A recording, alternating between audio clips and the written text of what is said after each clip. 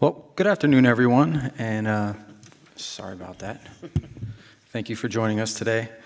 Uh, let me start off briefly by thanking uh, Ambassador Mary Ann Peters, our provost, for uh, her foresight in recently creating the uh, seventh regional studies group here at the Naval War College, uh, focused a group focused on an emerging region that's of strategic importance to the United States and to the U.S. Navy, and that's the Arctic. And the Arctic Studies Group, like many other the regional studies group here at the college, consists of students and faculty uh, who have an interest, experience, expertise in, uh, in regional maritime affairs or in U.S. policy and strategy in the region.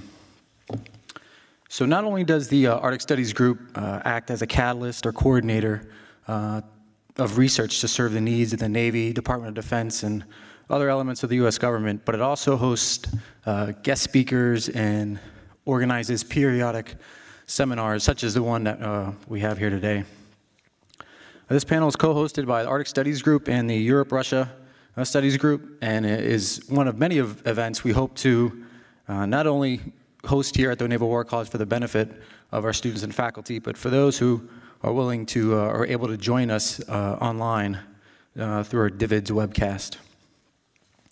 Uh, it's also important to note the uh, remarks made by our panelists today are that of their own and don't represent an official position of the Navy, the Department of Defense, or the U.S. government. And we really do have an exceptional group of panelists here with us today uh, to talk about uh, what is clearly a topic of, a salient topic for the United States, and in particular, uh, U.S. maritime forces, and by that I mean both the Navy and Coast Guard.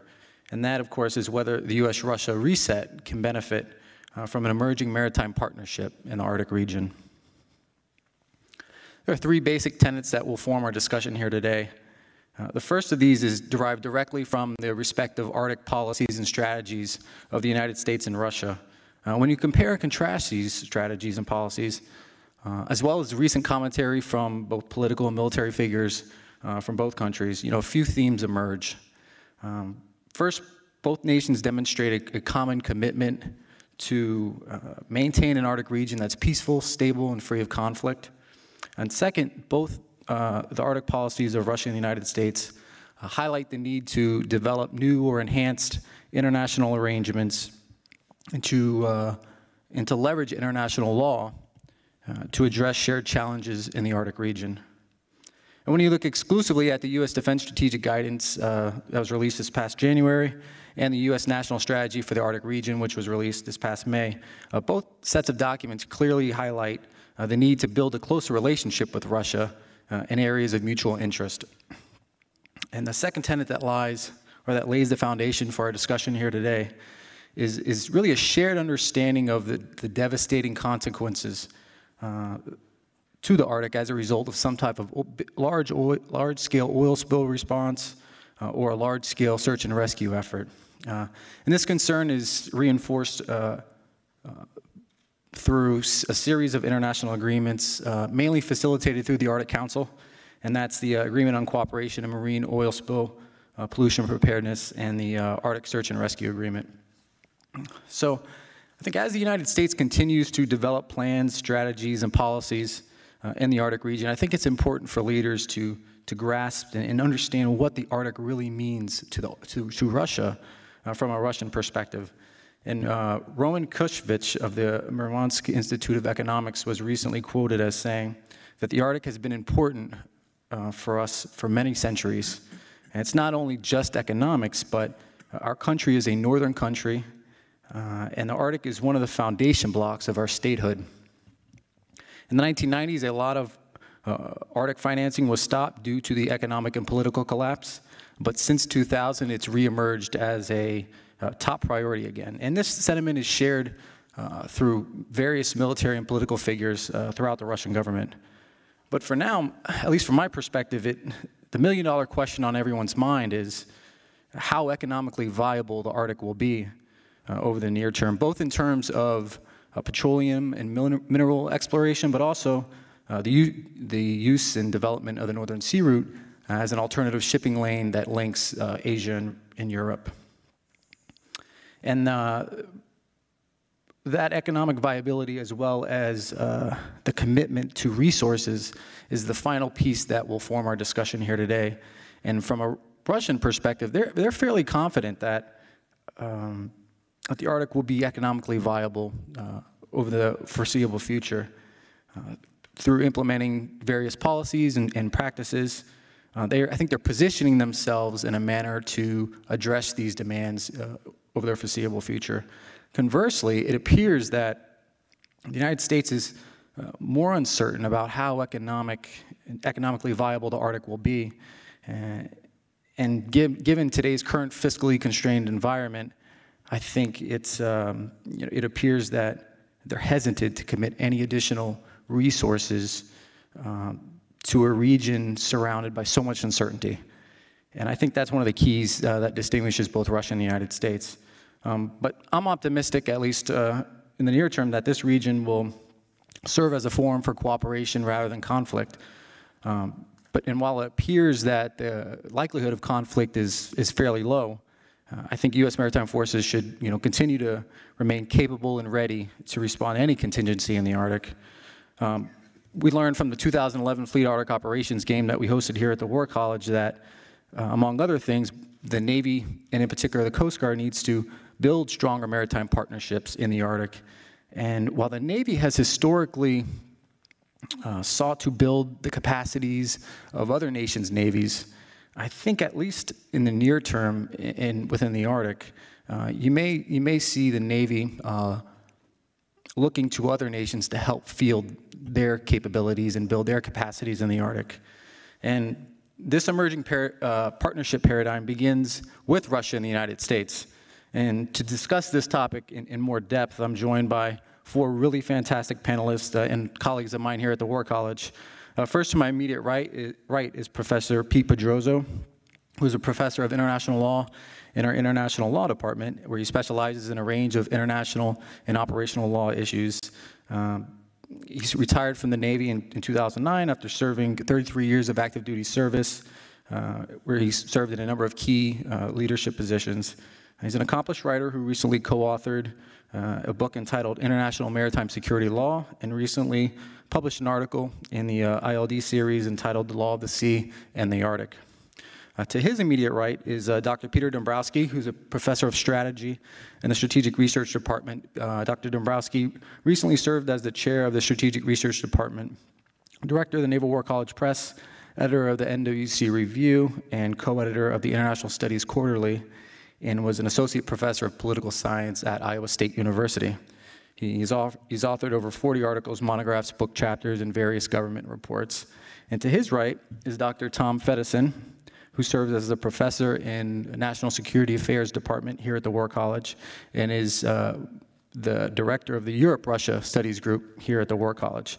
And his 31-year naval career included military assignments as a U.S. Naval attaché to Russia and two tours at NATO headquarters in Brussels. A former surface war warfare officer, he commanded the U.S. Normandy and the USS William Pratt. And finally, on the, on the end there is uh, Captain Andy Norris of the U.S. Coast Guard, and Captain Norris is a Coast Guard judge advocate uh, who currently serves as the Coast Guard Service Advisor here at the college and is a member of the faculty in the Joint Military Operations Department. And he's widely published in various, uh, in various international publications uh, and recently uh, published a monogram entitled Legal Issues Relating to Unmanned uh, Maritime Systems. So with that, I thank each of you for being here today. And what we'll do is we'll begin the panel by enabling each, each of you to present your prepared remarks. And then what we'll do is we'll transition and field questions both from folks here in the audience on campus, but from those who are uh, joining us virtually on DVIDs as well. So with that, I'll turn to you, Pete. Thank you, Walter. Um, see if this is working. Okay. All right.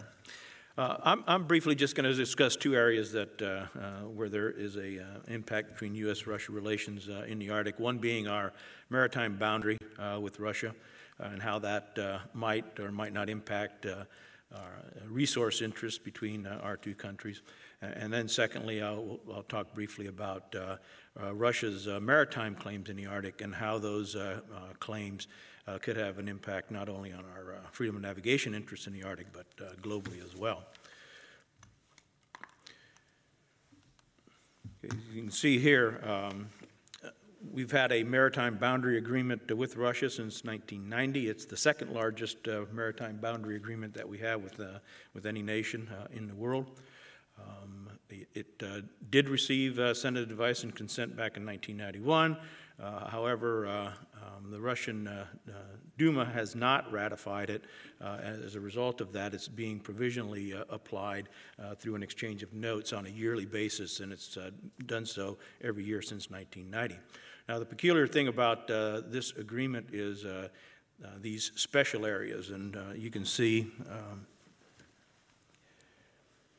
there's two special areas that are on the eastern side of the, of the boundary line, and one on the western side of the uh, boundary line. In effect, those, those um, areas, in the case of here and here, are actually part of the Russian exclusive economic zone. And on the western side, that's actually part of the U.S. exclusive economic zone. But pursuant to this agreement, we have uh, um, given the Russians uh, jurisdiction in our exclusive economic zone in the western special area, and they have given us uh, resource jurisdiction in the eastern uh, special area. So that's something that's uh, um, odd uh, in, uh, in maritime boundary agreements, but something of interest here. Again, there's, because of this agreement, um, is in the Bering Sea, it, as far as fishery resources go, don't really, don't see a- any impact on a potential conflict with Russia over fisheries resources because of this. Peter's going to talk in detail about uh, economics, but uh, this region yields about a half of the U.S. seafood uh, catch uh, um, on an annual basis, as well as a third of the Russian seafood catch uh, on an annual basis. Now, in order to enforce uh, um, this boundary, Um, we do have uh, uh, excellent working uh, relations with the uh, Russian Border Guard, and Andy's going to talk more about that because it's really a U.S. Coast Guard Border Guard uh, relationship. Uh, but at the most recent biannual meeting of the, of the two organizations, Coast Guard and Russian Bo- Northeast Border Guard on the Russian side, they signed a a memorandum or a document of understanding that provides for joint action for dealing with increased vessel traffic and uh, and unreported fishing in the area. And you can see there that uh, um, fishery enforcement, uh, search and rescue, uh, et cetera, are some of the uh, aspects covered by that uh, agreement. Now, with regards to hydrocarbon um, resources, you can see here that Russia does have a number of uh, um, overlapping claims with some of the other Arctic nations with regards to their extended continental shelf in the Arctic. However, because of our boundary agreement with Russia, we will not have a overlapping extended continental shelf uh, claim in the Arctic. Uh, So again, uh, from a resource perspective and a potential for conflict over hydrocarbon uh, resources, I don't see that uh, this would be an issue between the U.S. and, uh, and Russia because we have this pre-existing boundary agreement with the Russians. Now, freedom of navigation is, is another issue. Greater access to Arctic shipping uh, means there's going to be more traffic uh, in the Arctic. Uh, Most of that uh, is going to occur in the Northern Sea Route that is operated by the Russian Federation, as opposed to the Northwest Passage, which would be on the Canadian side, just because the North, uh, Northern Sea Route uh, will have a greater ice melt throughout the year. So you're going to see greater traffic, not significant for the foreseeable future, but some increase in traffic in the Northern Sea Route in the foreseeable future. So how does that impact our freedom of navigation interests? Here you can see uh, U.S. national security interests in the Arctic uh, that's put out in the uh, nation- uh, NSPD 66.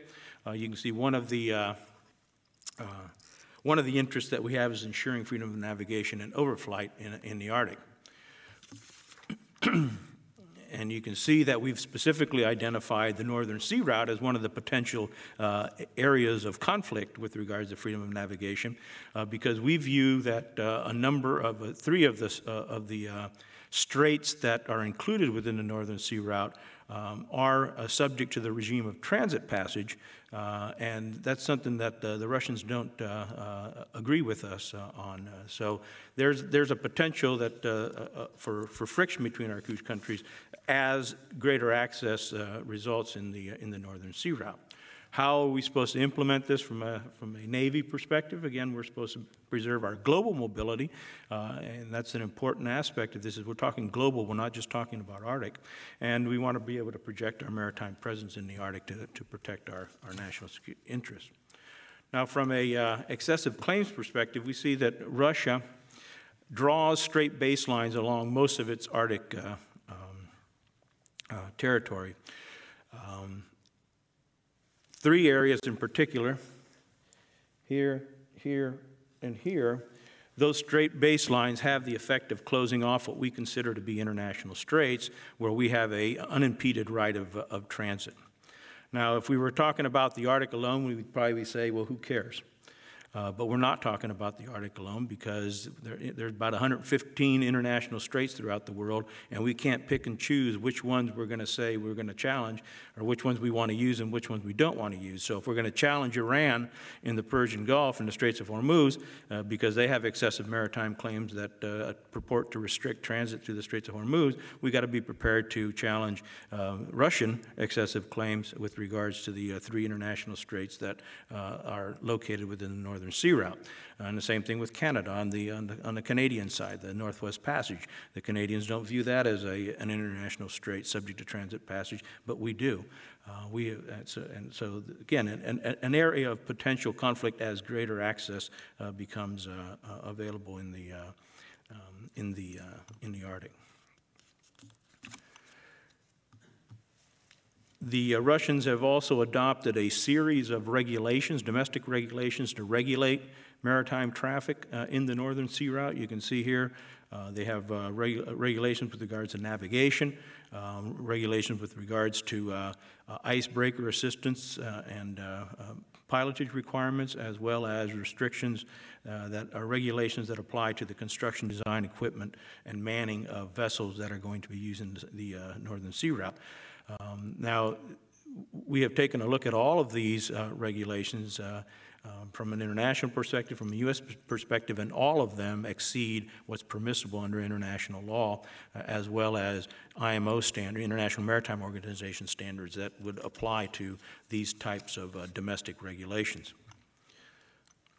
With regards to the regulations on navigation, I haven't listed all the requirements, but you can see here some of the ones that are problematic to the United States. Uh, one, a prior notice requirement.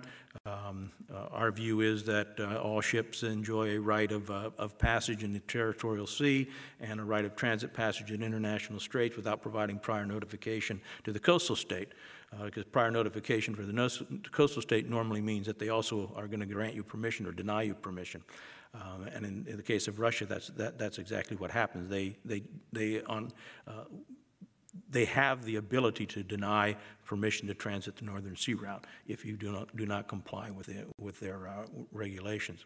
Um, other requirements that you can see there, uh, mandatory inspection of vessels, um, icebreaker assistance that must be paid for in advance by the shipping company, uh, the requirement to use mandatory, mandatory uh, routes. Uh, mandatory routes are permissible uh, under international law. They're permissible under, uh, under the SOLAS Convention, Safety of Life at Sea Convention, that is adopted by the International Maritime Organization. However, if you're going to have mandatory routes that apply seaward of the territorial sea, those have to have international approval at the IMO. Uh, and Russia has not gone to the IMO to seek approval of, uh, of these regulations with regards to uh, uh compulsory pilotage, mandatory icebreaker support, um, mandatory routing, uh, et cetera. As I mentioned, uh, uh, our view is that there is an unimpeded right of uh, transit passage through international straits, so those three straits that I showed you earlier. Um, our position would be that if we wanted to send a ship through there, that uh, regardless of uh, what the uh, Russian regulations say, that we would have a right to do that. the other problem with the Russian, Russian regulations is that they um, don't make an exception for sovereign immune vessels, so Um, If, uh, if we want to send a warship through there, or uh, some other government vessel, uh, as far as the Russians are concerned, uh, they would be able to, uh, to uh, restrict that passage. So again, something that we have serious issues with, um, with the Russians with regards to freedom of navigation. And most importantly, the ones that we're looking at here are the compulsory pilotage requirements, compulsory icebreaker support, and the prior notice requirements that I mentioned earlier. All of these um, types of uh, domestic regulations are permissible, uh, but only if they're adopted by uh, the International Maritime Organization. Uh, Also problematic are the, the Russians' uh, uh, regulations with regards to construction, de- uh, construction, design, equipment, and manning of ships that are going to be operating in the Arctic uh, under the uh, international law uh, that's reflected in uh, the Law of the Sea Convention, Article 21. The coastal state uh, can adopt laws and regulations that apply to construction, design, equipment, and manning of foreign vessels. However, they must give effect to generally accepted international rules and standards, and that that means, international rules and standards means approved by the, uh, by the International Maritime Organization. Uh, So you can see that um, many of the uh, requirements that Russia is imposing on shipping in order to be able to transit through the Northern Sea Route exceed uh, both the requirements of the Law of the Sea Convention as well as IMO guidelines that have been promulgated uh, in the Polar Code, and most recently in 2009, uh, which are uh, under uh, uh, revision uh, at the IMO as we speak. Uh, Now, the Russians uh, base their, uh, uh, their authority to do uh, what they're doing on Article 234 of the Convention, uh, which does allow the, uh, a coastal state to adopt uh, certain uh, laws with regards to uh, uh, the prevention, reduction, and control of mar- uh, marine pollution from vessels in ice-covered areas within their EEZ. Um, However, um, those uh, uh, laws have to give due regard to navigation and uh, have to be based on best uh, available scientific evidence. Uh, The Russians have not put forth any evidence to show us that what they have adopted uh, is based on the best available scientific evidence. And, in- and as I mentioned earlier, they do not give due regard to navigation as provided in the, in the Law of the Sea Convention.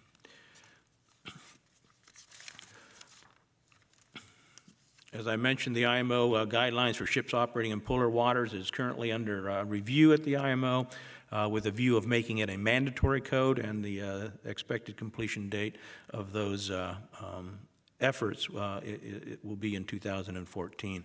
Uh, I don't think that's really going to happen, but we'll we'll see if they, if they meet their deadline. I- I'm looking more at 215 or 216. So some next steps, uh, you know, what can we do? Uh, One, we have to continue our leadership at the International Maritime Organization uh, to develop a mandatory code um, that is consistent with uh, our national security interests and with our freedom of navigation interests. Um, The uh, Northern Sea Route regulations were recently amended in 2000, in this year.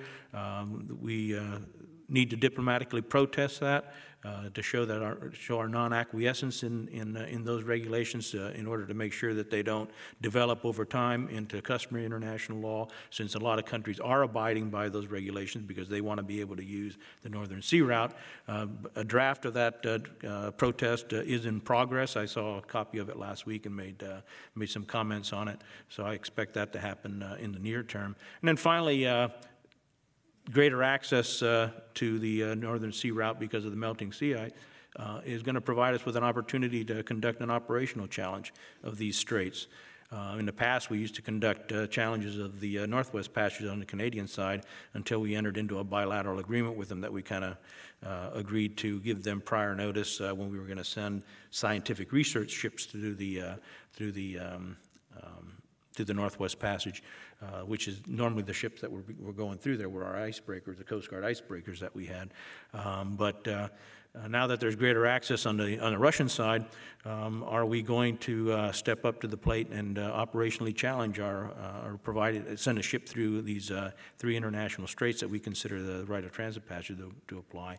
And the real question will be, does Washington have the political will to do that? And my guess is that they probably don't, uh, because it's Russia. So we'll see how, how this all plays out, but we have to be careful that that we, over time, because more countries are going to be using the Northern Sea Route and are going to be accepting the Russian regulations, that there, that uh, this state practice doesn't somehow develop into a customary norm of international law and uh, somehow uh, uh, bind the United States in a way that we don't want to be uh, bound. So with that, I'll turn it over to Peter.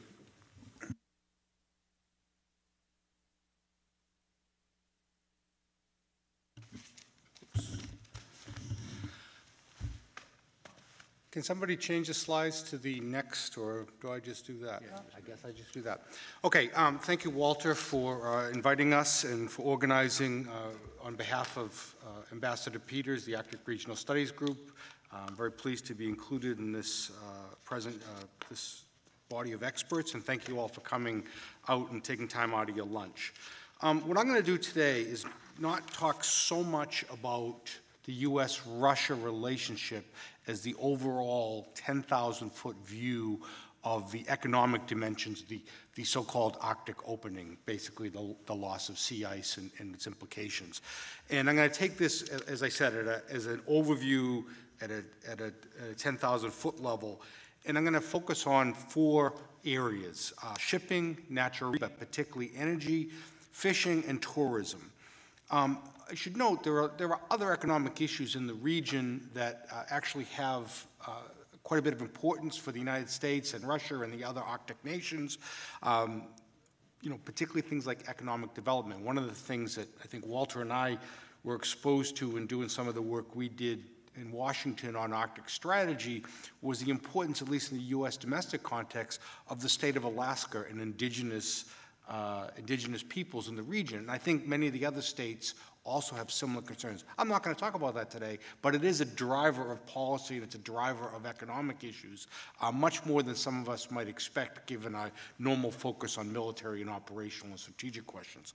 Um, I'm not going to talk about the environmental issues, which if you, you know, if you think carefully about the environment, there's a lot of economic dimensions to disasters, to changing weather patterns, changing climate patterns. Uh, I'm not going to discuss about that today because I think uh, there's enough on the plate, but it's certainly uh, something that should be thought about and considered by uh, other scholars and students as we, as we look at the emergence of the Arctic uh, as a region of interest.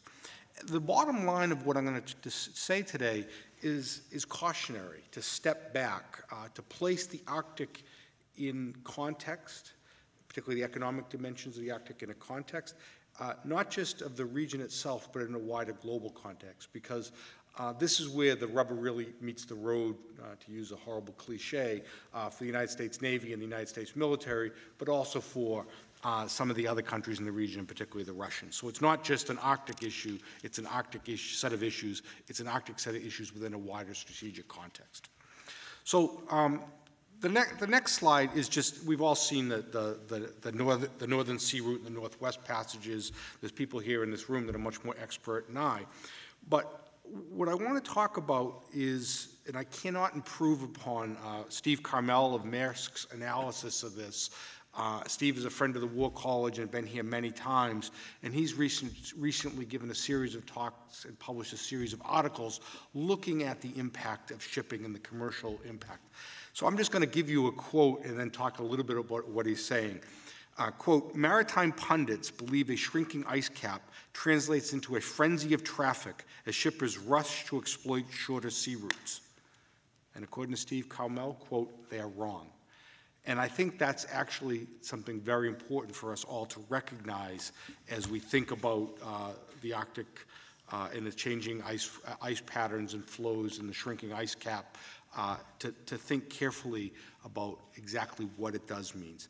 And Carmel's analysis is based on a number of factors. I'm not going to be able to, to rehearse them here, but it's the nature of the length of time that passage is actually viable because a shrinking ice cap uh, doesn't necessarily mean ice-free, and ice-free actually matters for the operation of shipping in the region.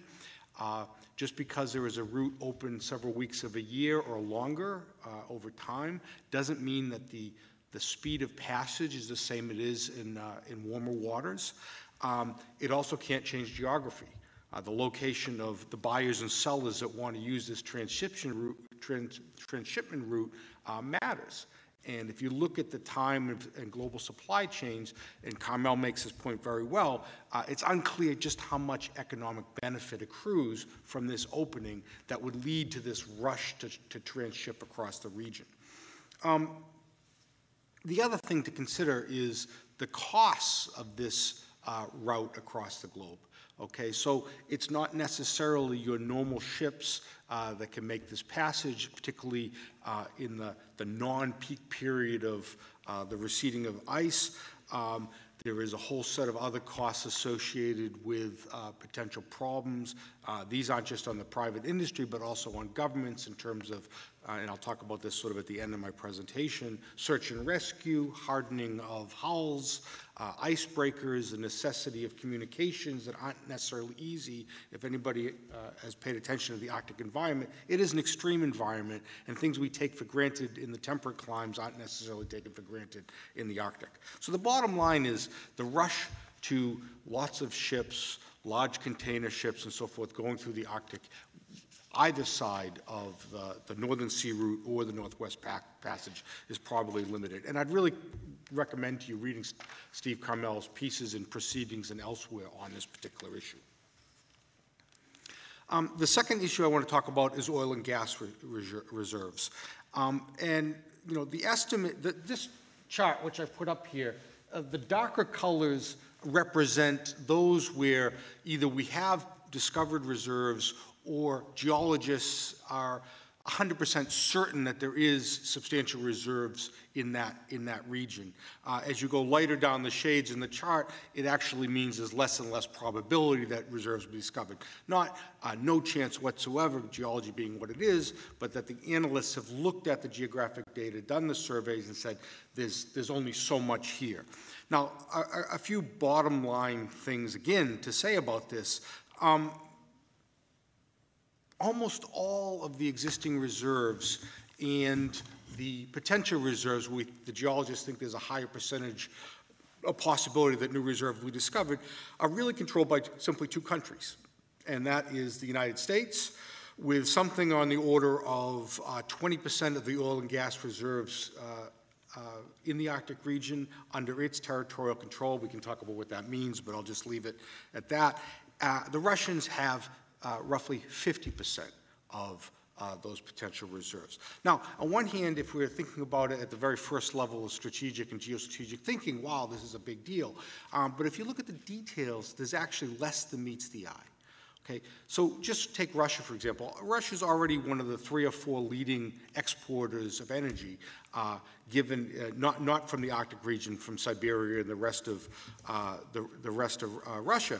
Um, right now, it has a capacity uh, difficulties in exploiting this. It needs greater investment, greater investment of equipment, exploration, infrastructure to transship the oil uh, and the gas that they, uh, that they have to the marketplace.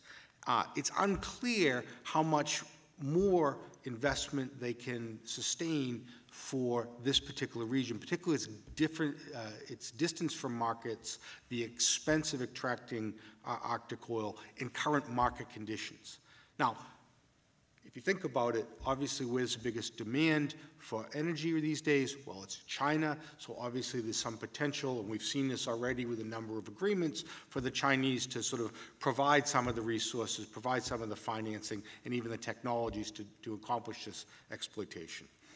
Um, the other issue is that for the United States, you know, if, you've been paying attention to the news lately, um, the U.S. energy position is shifting radically. And there's a lot to say about this, and this is the forum, but basically America is projected to become a net energy exporter in the coming days, days uh, decade, in part because of our increased exploitation of fracking other technologies to extract uh, energy, both oil and gas and shale gas and so forth, from our own uh, territory. So uh, the, the, point being that the 20% of the proven and potential reserves that the United States has within its uh, control in the Arctic, while important and obviously an economic boon to Alaska and to other regions, uh, isn't uh, the game changer it might have been at the height of uh, the Cold War during the 1970s when we had the oil crises.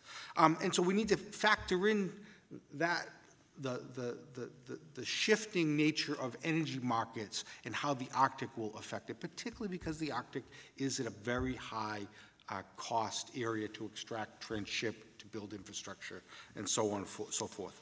I can take more questions on that if anybody has anything, but that's just a general overview. Um, The next issue I want to talk about is, um, excuse me, fisheries. And this is something I knew absolutely nothing about, I haven't really studied. Uh, As I did a little bit of research on this, uh, you know, the assumption is that the changing Arctic, uh, the opening of the Arctic and changing ice patterns and so forth will increase uh, the possibility of fisheries opening up and contributing to the world food market. I think this is probably, at least as I read the science, and I'm not a scientist, uh, uh, this is less noteworthy than some people might think. Um, This chart is just a very simple one. It sort of looks historically at catches of various kinds of uh, fish. Uh, Historically, a couple bottom line things to note on the chart is that Russia- Russian uh, exploitation of Arctic fisheries has declined. Uh, The American uh, exploitation of fisheries has increased. We actually harvest more. These are only, the the best data I could find was 2000. Uh, That's a long time ago when it comes to fisheries, so things are changing. But what I took away from this is that uh, we're not going to see an enormous boon in increasing the world's access to protein or decreasing costs of food on global markets based on this opening. Um, And part of this is a question of location. Again, much like the petroleum and energy question, there are some parts of the Arctic that have relatively abundant stocks of commercially harvestable fish, and there's some that don't. Some have been overfished historically, other ones remain relatively unexploited, so we're going to see shifts in time. But over the long, long run, um, there's a lot of unknowns, okay, because uh, there's things like acidification of the ocean, the changing temperatures and how fast fish stocks adjust and so forth that, that really leave it unknown. But I think the bottom line is we can't expect that this is going to become a huge resource uh, for the globe or for any of the individual countries in, that are Arctic, uh, that are on the Arctic Circle. Um, Now, this may seem strange to talk about tourism in this big geostrategic context, but when I go through the next couple slides and I'll get off the stage, there is a reason I'm doing this, because it actually ties into a maritime question.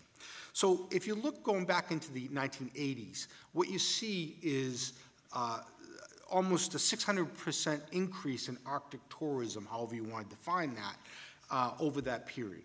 More and more people are going to visit the region. Uh, They're doing it uh, to see, to whale watch, to see glaciers, to explore wildlife you can't see in in more temperate climes.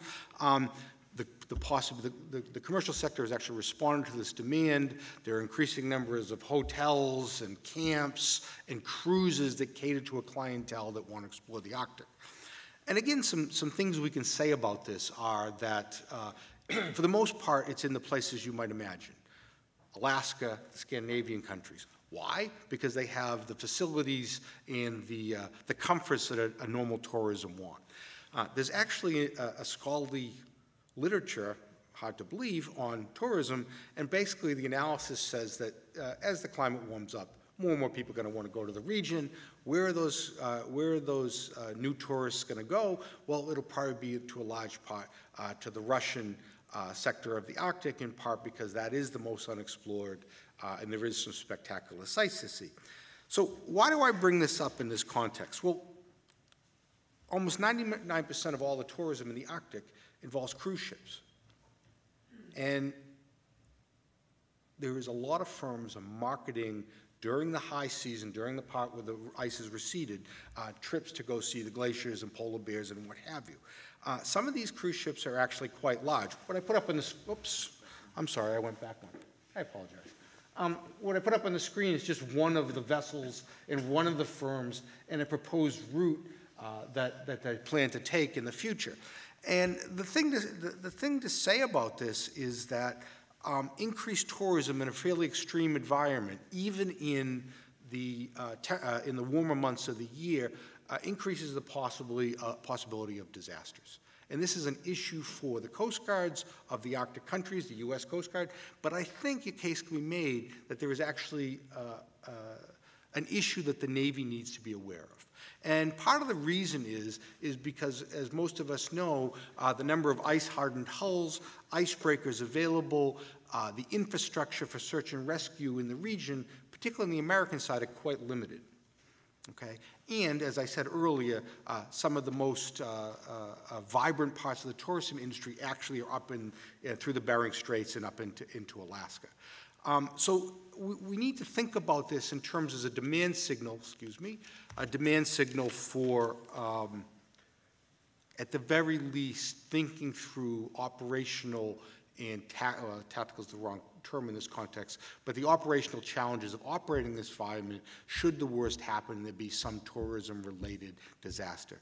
I mean, everybody's seen the Titanic and what happens when a, when a cruiser uh, goes on, uh, uh, excuse me, when a, a, cruise ship hits or an ocean liner hits an iceberg, and you know that's a nightmare scenario and it's not outside the realm of possibility. I understand the difference between uh, the Titanic and other kinds of vessels, but in the extreme environment, given the possibility, even the best months of extreme weather, uh, given the possibility as uh, the ice pack melts, there are more glaciers in the, excuse me, more icebergs in the region, uh, there's a real possibility that there'll be some kind of a tragic event. And at least the Coast Guards and the international community needs to think, back, think about it. so um, to get off the stage and sort of end this very broad discussion of the economic dimensions of the Arctic opening, I think it's important to note, uh, again, that the region does not have the economic possibilities some of the advocates and proponents and uh, chicken littles of the world uh, might expect. There are limits. Uh, the American geographic uh, location, uh, yes, there is oil and natural gas. yes, there is tourism but it's largely a Russian question. And we need to think about this in the context of markets because it's not a zero-sum game of the 19th or 18th centuries. This is a case where the exploitation of resources in the region is done by private industry, by private contractors and firms, and, and, and mostly they contribute to global markets. So petroleum and gas entering on the global market uh, has an impact on prices across the world. It's not a zero sum where one country or another controls it for their sole consumption or as an economic weapon. But that's a longer story.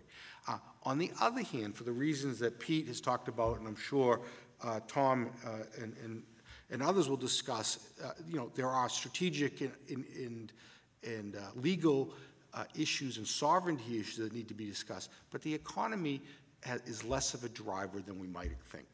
Thank you very much. And thank you, Walter and Peter Squared. Uh, what I hope to do in a short time is to give you a Russian look, not an American look, a Russian look at, uh, at the military forces in the area, pre predominantly naval, uh, but 90% uh, of what I'm about to show you comes from Russian sources, except for a couple of the pictures. Uh, and I won't try to editorialize too much. I, uh, what, I'll, what I'll do is try to just stick with the facts, ma'am, and we can take it from there. Uh, what you're looking at right there is in 2007 planting of the Russian flag at the North Pole uh, with a uh, icebreaker and a submersible that went down there, created quite a lot of havoc around the world when uh, the world was looking at the Russians planting their flag there, essentially looking like they're claiming the North Pole. Not quite so fast, but still, it had a, it had a symbolic impact. Uh, you can't read too much about this, even in the Russian press, where you don't see the growth of commercial shipping. And I defer to, to Peter on this subject. I've heard the, the same argument. But the point can't be ignored that the number of transits, and this year the number of permits, that 495 is the number of permits uh, to transit the Northeast Passage, is increasing. Perhaps we won't get there quickly, but the argument does suggest that we will get there to the point that some non trivial percentage of the world's shipping will go through the Arctic Ocean. It'll never become the next Suez Canal, but it won't be unimportant either. In terms of minerals, the U.S. Geological Survey says 25% of all the undiscovered oil and gas in the world is up in the Arctic. So, taking them at their word, let's take a quick military look. I just put a couple badges up there, but yeah, that's the Northern Fleet up in the uh, upper right-hand corner. That's the uh, Russian naval infantry on the other side. But it's more than just the uh, military that's up there. There's also other organizations uh, that have a stake in Russia's claim to its portion of the Arctic, things like the Coast Guard, Interior Ministries, etc. Uh, all right, quickly, uh, reading their documents and believing what they say, uh, what we have is a national security strategy that is predominantly focused on power and prestige through economic strength. There's precious little talk about military expansion in this part of the world, talk. Um, there is a lot of talk about how important the Arctic will eventually be to Russia. I think it's expected. That's the sort of thing you'd want to see in an NSS. But one of the goals is a permanent military presence in the Arctic, essentially to say, yes, it's ours, and yes, we're willing to defend it. And the fact that Mr. Putin really loves his naval uniforms is a big deal. Uh, I, I, will say this, though. Uh, I read enough of the Russian blogosphere and enough of the Russian defense experts talking sort of unofficially. And you don't get quite the same benign talk when you hear a bunch of Navy captains talking about the Arctic. You really do hear much more, or you read much more unofficially about how the Americans and NATO are coming to surround us, especially if our ballistic missile defense shooters go up there. We are really threatened by it. Again, I don't expect to ever hear words like that come out of Putin's mouth, but pretty much all of the, the Russian admirals and Russian captains that I speak to are more than happy to tell us how they're threatened uh, by the Western navies coming up into that part of the world. Yes, they too have a maritime strategy, much as we do, and I think maybe you'd be surprised, but it is even less militaristic than CS 21. It spends about 90% of its time talking about sovereignty, economics, territorial seas, freedom of the seas, navigation, protecting human life, protecting the environment. Almost as a footnote, they talk about strong naval power in this part of the world. Uh, so, once again, the words are the words. Uh, the actions, to some extent, support this, but let me show you some of the other actions that are going on up there. In case you need any of the Cassandra in today's debate, I'll give it to you. Um, for openers, because the Northeast Passage has been open for the last few years, the Russian Navy has been running a, a flotilla through there. Last year, a 10 ship flotilla led by Peter the Great went through, accompanied by four nuclear powered icebreakers. Uh, the claim by the Navy and by the Defense Department is that the threat is the potential for smugglers and illegal migrants. Uh, but there's also a very clear note that the Ministry of Defense plans to continue this. They've done it now two consecutive years, uh, and there's every indication that they will continue to run naval flotillas up there. This is a lot of reading, and I don't want you to read it all, but maybe the takeaway here is that it's not just the Navy that's moving up there. Uh, not too surprisingly, Airborne Assault Forces had a big exercise up there not too long ago. Special Ops, a big exercise. Uh, even the Army is planning on uh, sending people up there into the Arctic with, with two, what they call Arctic Infantry Brigades, uh, basing more MiGs up there, uh, especially on Novaya Zemlya. A naval base, which never was much of a naval base uh, and basically went defunct, on uh, the Soviet Union and then Russia will now be, at least in their plan, completely rebuilt, um, the Novosibirsk uh, naval base. Uh, Coast Guard, of course, is still active up there along with the Border Guard. Uh, they've just created 10 what they call Arctic aid centers in support of any SAR missions, perhaps with related to the tourist thing uh, that Peter just told us about. But the bottom line is that their walk is present. Their talk isn't so strong. Their walk is happening. They are putting defense forces up there. Are we concerned? Most Americans that I speak to say, no, it's only natural. It's kind of like Americans putting defense uh, installations along the California and Alaskan coasts. I mean, it is their territory, so why should we be surprised if their Marine Corps, Army, and Air Force joins their Navy along their coast? Um, let's see. Yeah, let me, let me just offer this, though. You know, can they do more? I mean, I'm kind of waving the flag a little bit here. Not too many people are waving it with me. But the Russians said they were building ships over the last 20 years. Actually, they really haven't started building them until about three years ago. These ships are starting to come off the shipways right now, and you can look at the commissioning dates of this is their surface ships. Are they building nuclear submarines? Yeah, they're building them too. But just their surface ship building plan uh, went from virtually zero between 1991 and 2008 to alive. I mean, I mean, it was dead, then it went from, to, from dead to dormant, and it went from dormant to what I will call alive over the last 18 months. And uh, these are the, the, the number of ships that they do plan to build and when they plan to commission them. And they are commissioning now somewhere between two and six ships a year. Uh, can they go up there? Of course they can. And their position is to have a permanent military presence. So uh, I would argue that in, and in addition to this, they're also commissioning additional icebreakers. They have a, a fleet of nuclear icebreaking ships. They're very impressive, as you can see by what I call the world's meanest looking icebreaker. Um, and they've also got a number of, uh, of rescue and research ships for underwater uh, operations, and they're increasing their budgets here too. They're building nu floating nuclear power station.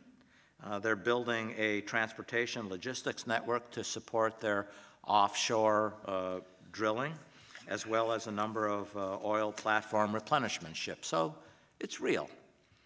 And I'll just end by showing you a picture of their CNO, who touts the fact that now over $6 billion a year go into their shipbuilding program. That's about half of what we spend.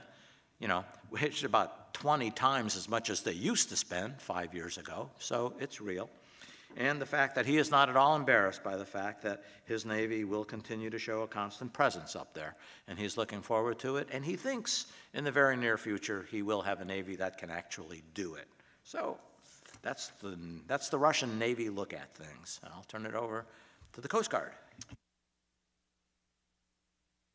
Let's try this. Thank you very much. I'm Andy Norris, and uh, we'll talk about um, interactions between the Russian Coast Guard and uh, the U.S. Should start out by saying that the Russian Coast Guard is not the only entity that we interact with as their Coast Guard-like functions are spread across eight ministries, and we'll look at those uh, shortly. But we'll, here's what we'll talk about, three uh, general topics. As you can see, the current status of relevant operations interactions, the structure of the Russian ministries that have Coast Guard-like functions, and then uh, a new initiative, the U.S.-Russia Arctic Maritime Initiative. In terms of uh, current relevant operations and interactions as I uh, characterize them, first of all, it should be mentioned that uh, there is no active uh, commercial fishery in the Arctic region. Obviously, that's something that uh, is anticipated to occur in the coming years, but um, the U.S.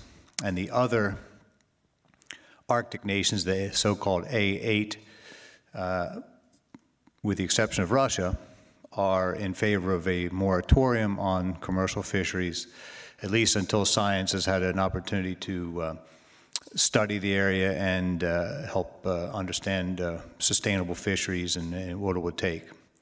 So, but the point being that there is currently no uh, active commercial fisheries in the area.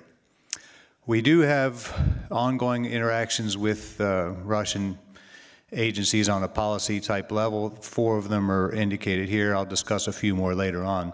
But uh, first of all is the uh, IMO. Uh, Pete's already talked about this.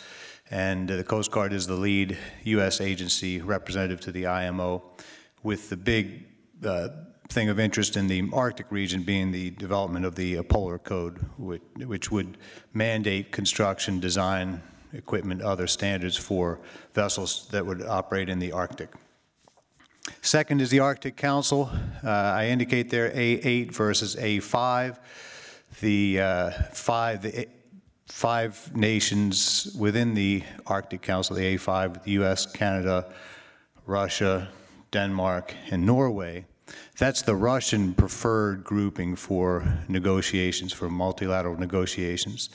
The U.S. insists upon the inclusion of the other three nations which don't actually have Arctic coasts, those being Sweden, Finland, and uh, who's the last one? Um, Iceland.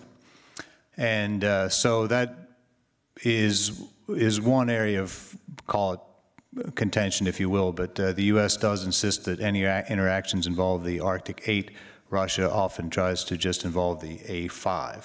But be that as it may, the Arctic Council has had, and again, this has been mentioned before, uh, two significant achievements in terms of, uh, of treaties, one being a SAR uh, treaty, and the other in the area of uh, pollution.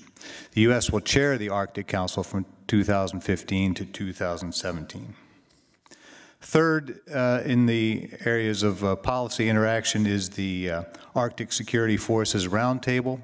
This is uh, co-hosted by the U.S. and Norway and involves flag and general officers from uh, interested nations that go beyond the Arctic Eight to discuss matters of Arctic interest uh, that are outside the, the area, areas covered by the Arctic Council. And finally, the Security and Cooperation in the Arctic Conference, that's uh, hosted annually by the Russian uh, Security Council. It brings uh, together diplomatic level representatives from the eight Arctic states. Further on this slide here is uh, a, a allusion to uh, operational interactions between the Russians and the U.S. Coast Guard, and there are some, and, and particularly, as I think was already mentioned, the area of fisheries. There's healthy uh, cooperation in that uh, area.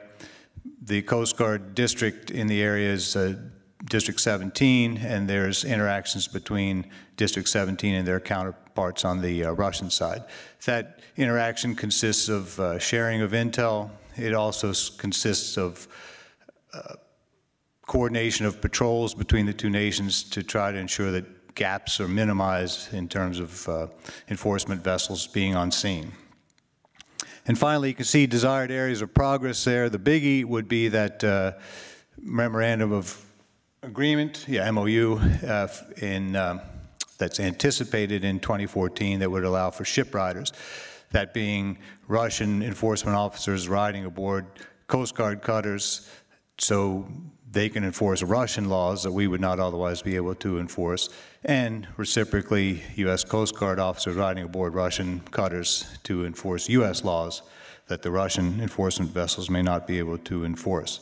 So that's a uh, that's anticipated to occur, and it's a fairly significant de development. Not in the Arctic it, itself, but these are models for future interaction between the uh, two nations that could later occur in the Arctic region. Somebody already stole this slide from me. The next uh, area of uh, discussion will be this, which you can't see, and I was afraid of that. I do have a, uh, a uh, blow-up chart which uh, I can make available at the end if anyone looks to look at it more closely. But this is the structure of the uh, Russian uh, ministries. What you need to understand is that the pink-colored uh, uh, structures, blocks in there are uh, aspects of, of the Russian uh, government that participate in SAR, search and rescue. Blue are Russian ministries and agencies that have an interest in the Arctic, and green are Russian ministries and agencies that have uh, fisheries. So the point being that really across the top, those are separate ministries, and uh, you can see that the Coast Guard-like functions are spread out across a number of agencies. The Russian, and you can't see it, but up, uh-oh. That's not a pointer. Yeah, they only have that. That up there is the uh, FSB, which is the successor to the KGB. And uh, that, this agency is a law enforcement agency, and it's considered a military organization by the Russians.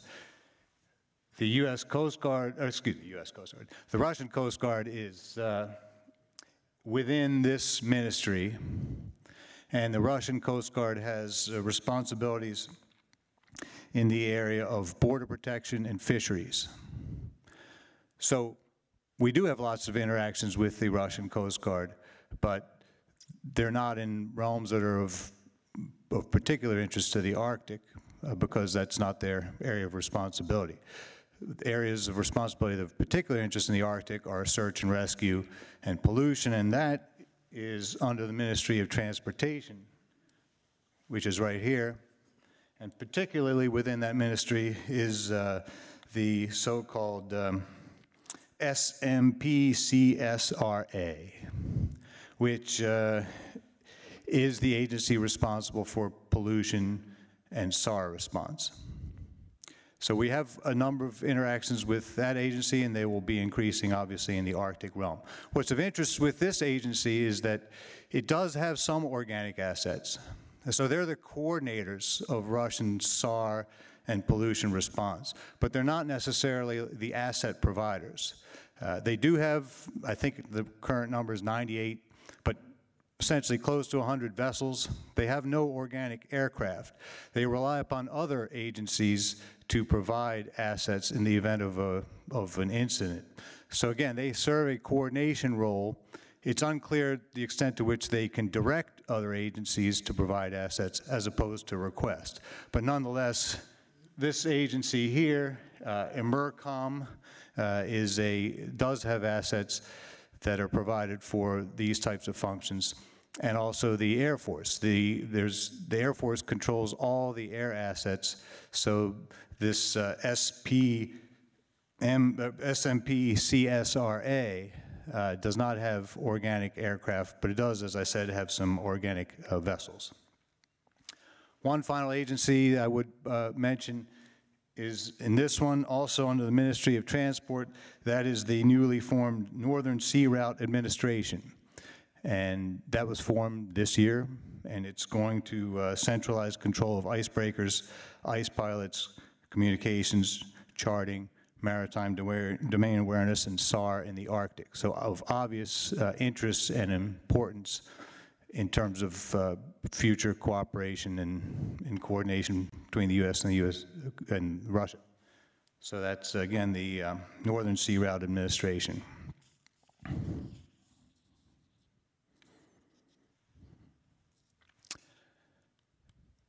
This is the command. Uh, I should mention also that the SMPCSRA, the lead Russian agency for SAR and pollution response, does run a number of uh, command centers throughout the country, and this is the main one in Moscow. They have five command centers now in the Arctic, three in the Pacific, and then a few others in the Caspian area and otherwise. And this is Hello. Ah. This is a new vessel that's in the SMPCSRA uh, inventory. As I mentioned, they have close to 100 organic assets. This is one of them. 22 of their ships are new in the past two years. So we talked about their recapitalization of the Navy. They're also doing it, obviously, in their civilian agencies. The aircraft in this picture, however, is not owned by that agency. As I mentioned, all the aircraft are controlled by the Air Force. So they'd have to request airborne assistance uh, if, if they needed it. The final point I'll mention is this uh, is a U.S.-Russia Arctic Maritime Initiative.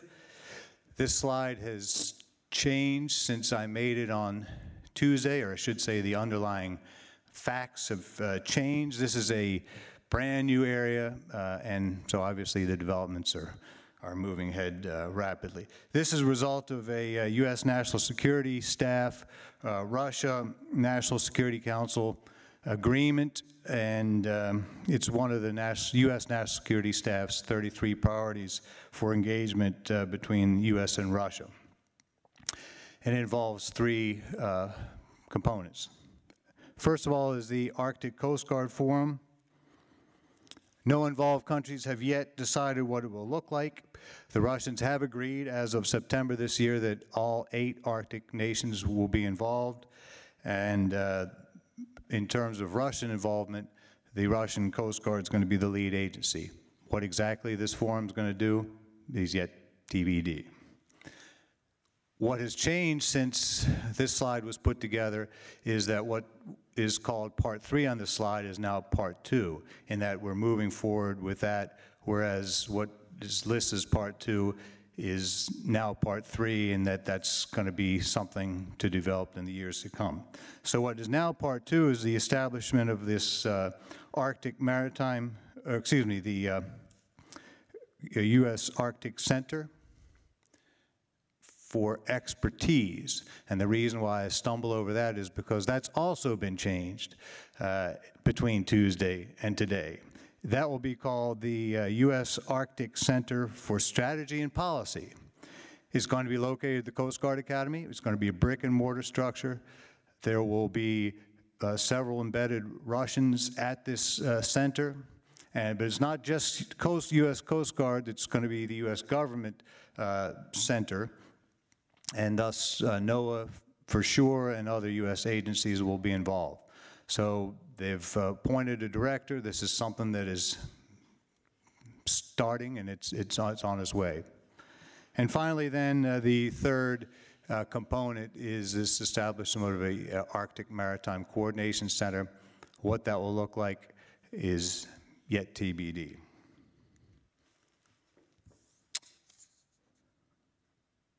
And I think that's all I have to say. Thanks, Captain Norris, and thank you all for uh, sharing your thoughts with us today. At this point, I'd like to open the floor up to uh, the folks here on campus if you have any questions. Uh, Unfortunately, our mics mics aren't working, so I'll go ahead and repeat the question. Um, Any questions, and then go ahead and identify if you have a particular panelist that you'd like to, uh, to uh, respond to your question. Yes, sir. Hi, thank you. Uh, I'm George Zavar from the Naval Undersea Warfare Center in County, Wright County. Thanks for the invitation. Uh, One question, one comment. Uh, First question to Professor uh, Pedrozo. Sir, uh, you had mentioned about the EEZs and how they kind of swapped our jurisdiction, cross jurisdiction in the EEZ. If you could clarify that for me, please, if we have jurisdiction over a Russian EEZ and vice versa. The second is a comment. I was kind of surprised no one addressed the Greenpeace incident uh, in, and the Russian enforcement of that, right or wrong. Uh, um, There's some, I'm a little confused with exactly the details on it, my perception.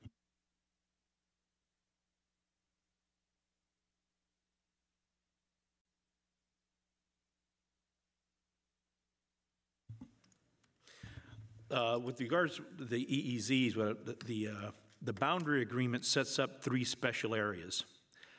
Two of them are on the eastern side, the eastern special areas are actually part of the Russian EEZ. But the way the line, it was easier to draw a straight line than trying to draw crooked lines. So on those eastern, eastern areas, Russia has granted the U.S. resource jurisdiction in those areas. And then on the western side, which is actually the US EEZ, the US has granted the Russians jurisdiction, resource jurisdiction. Uh, access to fisheries, primarily.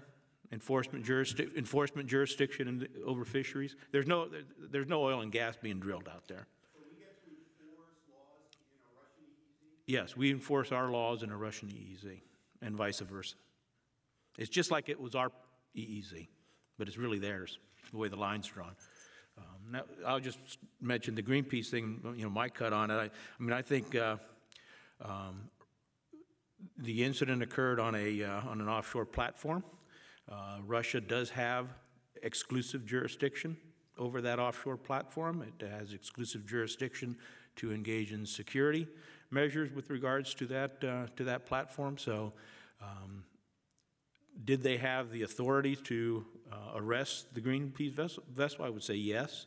Uh, The question then becomes, uh, you know, are- when are they going to release them? Uh, eh, Will they prosecute them? Will they release the vessel? There's a case uh, before the International Tribunal of Law, see right now, where they're trying to get the release of the vessel and the crew. Russia has said they're not going to participate in that, in in- in that endeavor. And I think, I forget what the flag state is, is it the Netherlands, I think?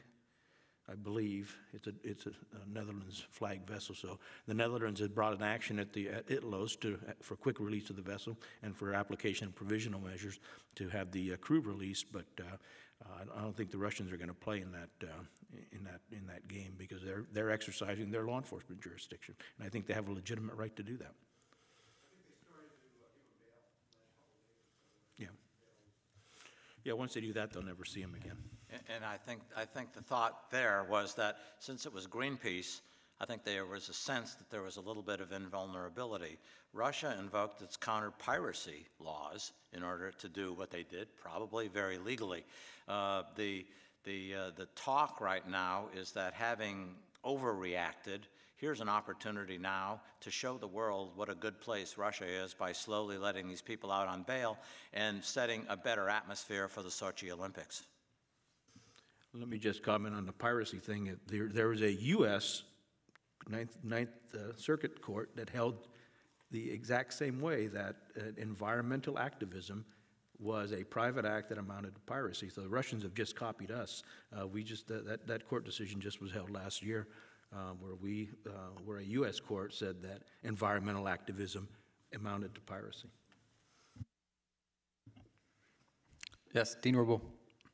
Yeah, the, uh, the Greenpeace incident connected to the Olympics, uh, brings up the question of, uh, is there any evidence that Russia kind of isolates Arctic policy from other stuff that's going on? Or does other stuff that happens, whether it be in Syria or, uh, deals with Iran, stuff like that, does that promise to either sour or uh, sweeten uh, Arctic relations, or, or do the Russians seem to think that's a, a separate environment?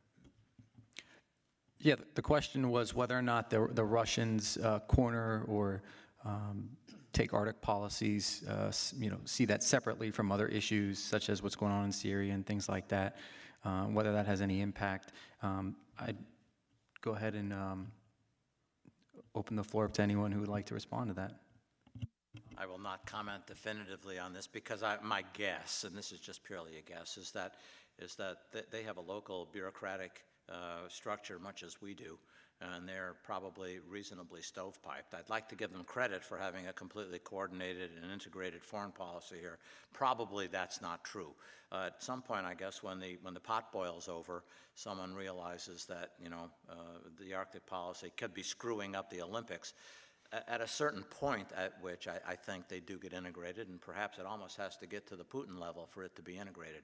But I don't see this wonderful integration, this wonderful uh, uh, uh, planning, this coherency.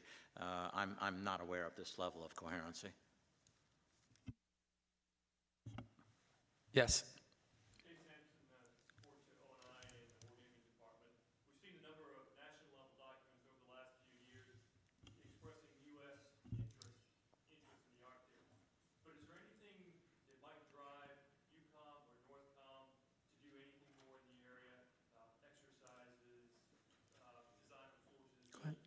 Anything that might be a driver for the COCOM that would have to execute operations in the area?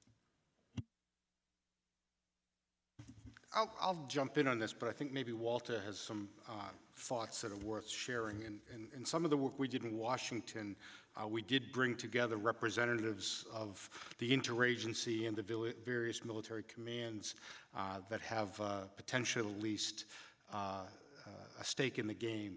And I think, I mean, EUCOM, in terms of, it wants to cooperate with the countries that it's in its geographic AOR, but they're not eager to jump into the Arctic per se because they don't see where that, uh, they don't see that as the region where their greatest challenges are.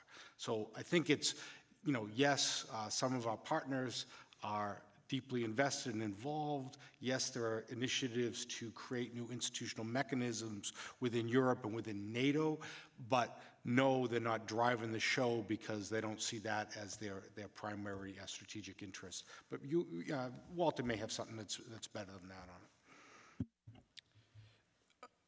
You know, I I think, I think I share some of the same uh, sentiments, but I think uh, when you look at some issues uh, between Northcom and EUCOM, I, I think uh, there's many gaps, seams, overlaps in command and control issues between both COCOMs and the fleets.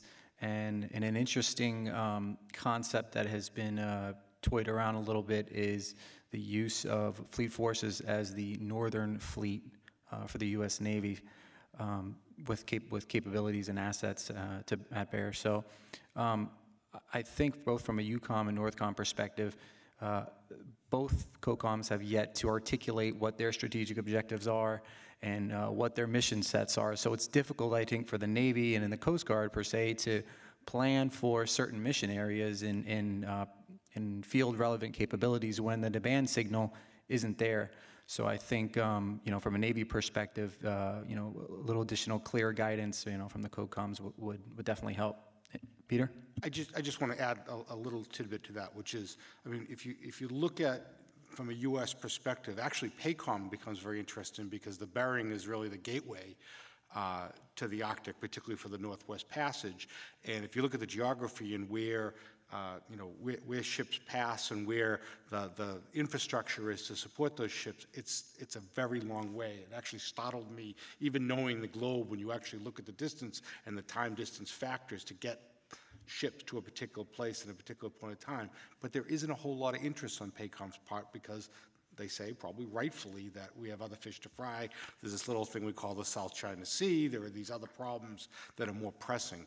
Uh, and, and like Walter said, uh, you know, Fleet Forces Command and how it relates to NORTHCOM uh, may be the determinant. And the requirements generation piece, you know, the way it works, as I understand it, it should flow up from the COCOMs. But if that's not, they're not driving, uh, it's really hard to articulate it within the requ- requirements definition- process. Thanks for the question. Uh, At this point, I'd like to take one question from uh, one of our viewers online, um, and this is mainly for Captain Norris. And, um, you know, with the U.S. Navy's current commitments in multiple AORs uh, and budget uncertainties with threats from uh, sequestration and continuing resolutions, um, where will these, these assets come from for a potential Arctic maritime presence uh, in the future? Is, is, and the, the response was, is, is the better answer to beef up the Coast Guard? Uh, and, and how could we best attempt to uh, deal with this issue in the current fiscally constrained environment? That's an excellent suggestion. I think we should beef up the Coast Guard, absolutely. Uh, The reality is, is that um, the budget issues that the Navy's facing are the budget issues that the Coast Guard's facing. Sequestration has effects on the Coast Guard as it does with the Navy. There are resource challenges to uh, expansion into the Arctic. We would, uh, just for search and rescue purposes, as it's been, has been alluded to during the course of the discussions, uh, there's a, there's a need for assets, there's a need for ships, for aircraft, for shore infrastructure, and um, where are they going to come from?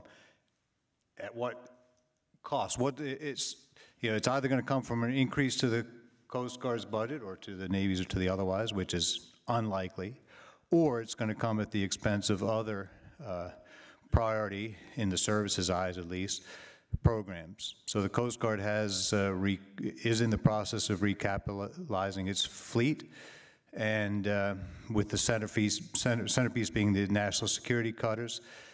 So it, our increased resources for Arctic purposes going to come at the expense of the national security cutter fleet? That's a, that's certainly a, a big question. Where icebreakers going to come, or where's the money for icebreakers going to come from? You know, we really have one right now that's, uh, that's operational. There's talk about bringing a second one that's back into operation, but still, I think, uh, I don't, I don't know the exact numbers, I, I've heard it, and I think it's nine or eight, but anyway, studies have shown the need for eight to nine icebreakers up there, and we've got one. So, yeah, resources, it's a, it's a big issue. Thank you.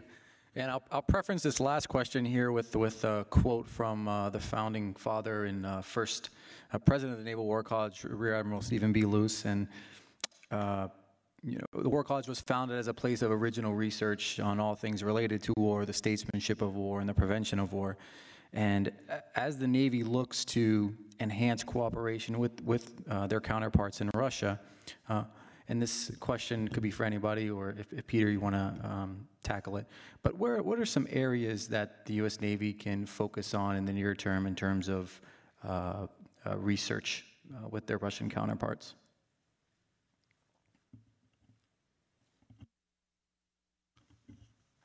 Um, So the, the first thing I'll say is I think actually the last bullet or the second to last bullet on your last slide is a good step, is that we're actually, you know, creating some of the intellectual and academic uh, infrastructure to, to think about this more carefully. So the Coast Guard Academy's effort uh, is a big step in the, the right direction. And the fact that we actually have Russians involved and the War College and the Naval Academy and other U.S. institutions are, are, are cooperating and sharing uh, information and, and analysis is, is a big first step.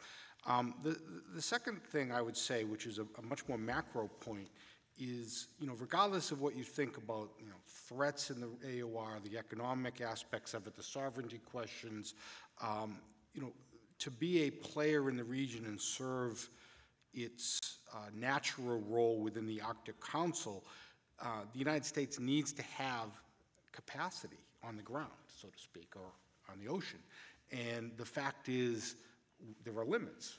One, one icebreaker, another one that might be able to be brought up to speed, very few reinforced hulls, almost no uh, shore-based infrastructure in the region, very limited comms, uh, reliance on some of our allies and friends uh, for certain kinds of capacities in the region, uh, suggests that the United States doesn't have um, the kind of leadership role, the capacity to lead in the way it might if it actually had some of the assets available. And this isn't to militarize the region, this isn't to make it another geostrategic conflict, but as the region opens up, the investments take a long time to come to fruition, and war colleges and the Navy thinking this through today so they can prepare for the 10 or 20 or, or, or 15 years out are, are really essential uh, to build a groundswell of support uh, within Congress, within uh, the nation as a whole to understand this region. So that, that's, that's a very general point, but so thank you. I'd offer a, a thought that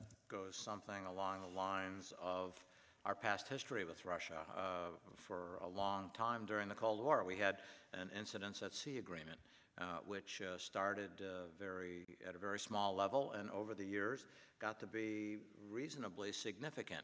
Uh, I, I, do point out that uh, none of this was ever designed to allow us to be allies and work together in war. It very much was picking low-hanging fruit it very much was simply avoiding accidents and not doing anything silly to one another while saving as many lives as possible. So I would argue probably read what we did with INCSEA way back when, try to emulate that in the Arctic. Probably we won't get too far, but we should be able to find enough low-hanging fruit with relation to freedom of navigation, uh, search and rescue, the sorts of things that are reasonably non-warfare related but can build this sense of uh, uh, security with one another uh, that might eventually parlay itself into something meaningful. But we're not ready. They're not ready, and I think we're not ready for meaningful warship cooperation at this point. Uh, if I could just add something to that as well, uh, to piggyback uh, Tom's remarks, is that there of course, there was an adversarial relationship during the Coast War, but uh, the Cold War. But as he uh, indicated, there were areas of cooperation and otherwise. So, for example, in the Coast Guard realm, the Loran stations that the Coast Guard operated, those were operated in close cooperation with the Russians during the height of the Coast, uh, the Cold War. I keep saying that, Cold War. The uh, fisheries cooperation, as I mentioned, uh, is an area of ongoing uh, mutual uh, activity that can be built upon. And uh, the uh, also the should mention that the Russian icebreaker saving the trapped whales that was memorialized in the Big Miracle movie. But uh, the, there are there have there has been a lot of cooperation over the years, and it's a foundation for future interactions. Great, and uh, you know we discussed a great deal here today, and uh, you know I'd like to thank each of our panelists for um, for being here today, and each of you out in the crowd here uh, on campus, as well as those viewing online. Um, but I'd also be remiss if I weren't to thank uh, the folks behind the scenes who really made this uh, event possible, and that's uh, the folks from the Public Affairs Department, the Audio Visual Department, our Events Department, and our graphics department. Um, And with that, thank you very much for attending, and have a great day.